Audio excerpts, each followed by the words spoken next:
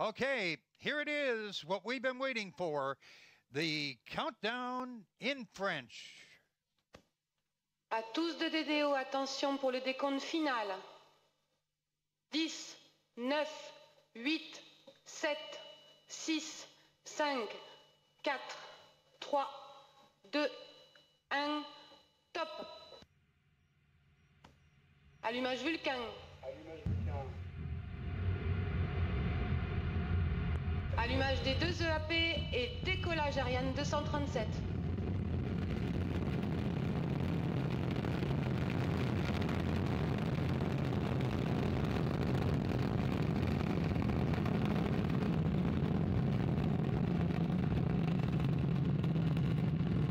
Tous les paramètres à bord sont normaux.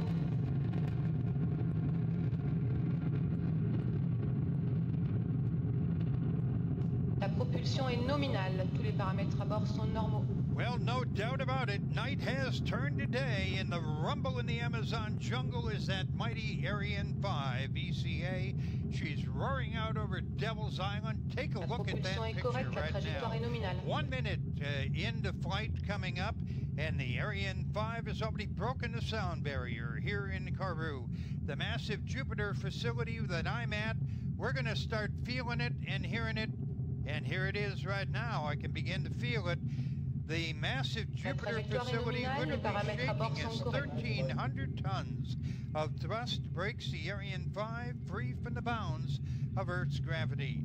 90% of that power is coming from the two boosters, burning 240 tons of solid propellant in two minutes, better than two tons a second. When the boosters have done calme. their job, less than a minute from now, Ariane will be over 70 kilometers in the sky, racing away from us more than uh, 1.6 kilometers a second. And that's faster than a speeding bullet.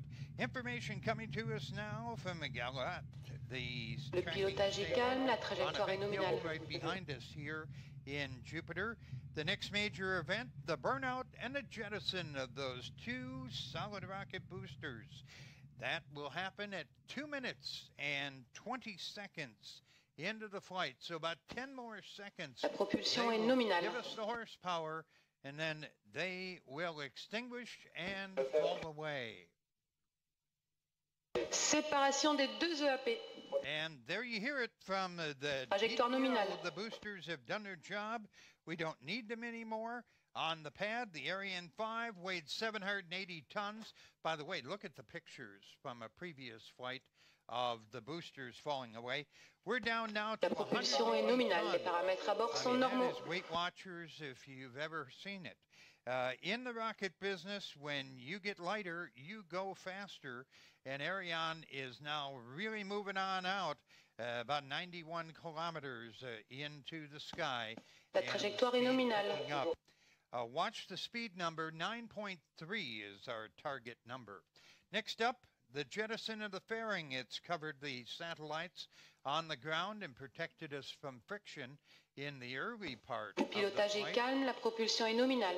And we don't need it uh, anymore. It is going to be uh, separating in uh, a couple of seconds. Aha. Séparation coiffe. Trajectoire And nominale. hear the DDO say separation coiffe. The fairing falls away. There you see the great photos from a previous flight. We just lost another two tons. And uh, with the fairing gone, Viasat 2 is exposed to space for the first time. While the launcher is technically in space, La propulsion we est have nominale. a long way to go. I call your attention to the performance numbers on the screen, and you'll see that graph in the upper right hand corner. The desired flight plan for Ariane 5, you'll see a dot moving along that line. We want that dot and that line Les paramètres à bord to overlap each other perfectly. Uh, that means that our performance is nominal, and you'll keep hearing the DDO call out performance is nominal. The main cryogenic stage, or EPC, is burning. It'll burn for nine minutes.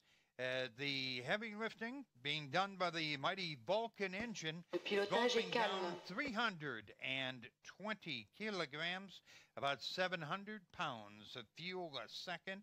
That's 500 times more than a jet engine that you probably flew down here to Kourou on if you're here in the audience.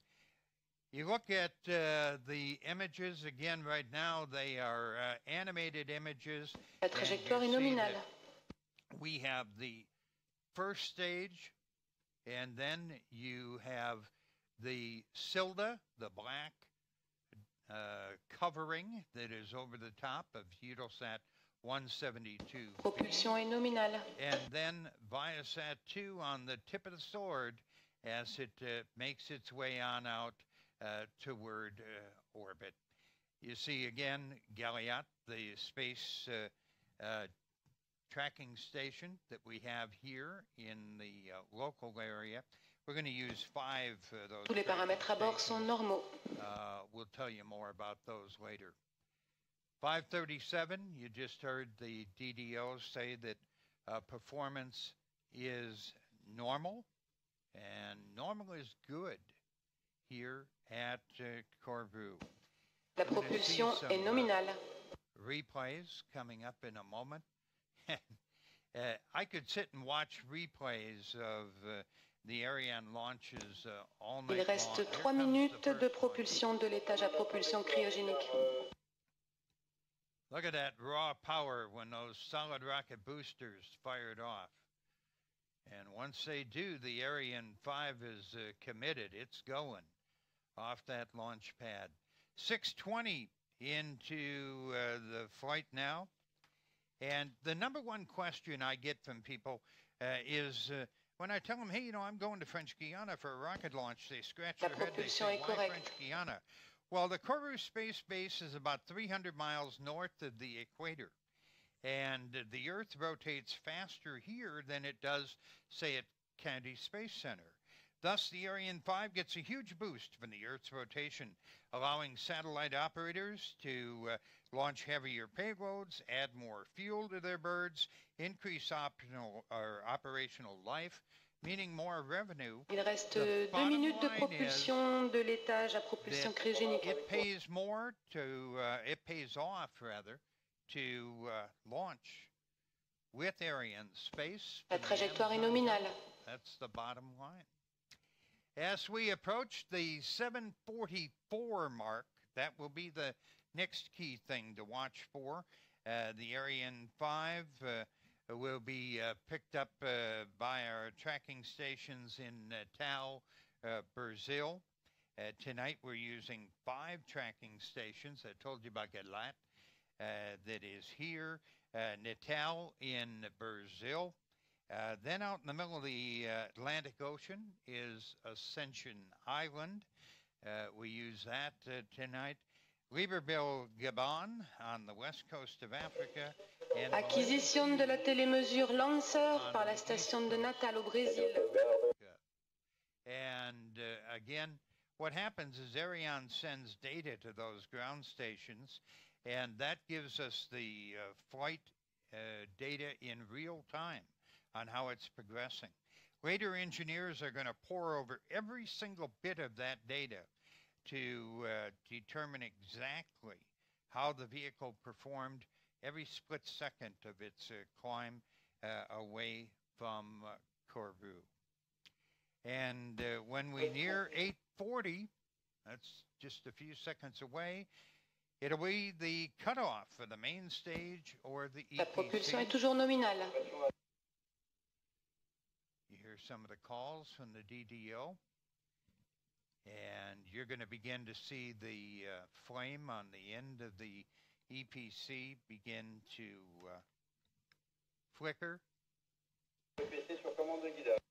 Fin de propulsion de l'étage à propulsion cryogénique. And Séparation de l'EPC.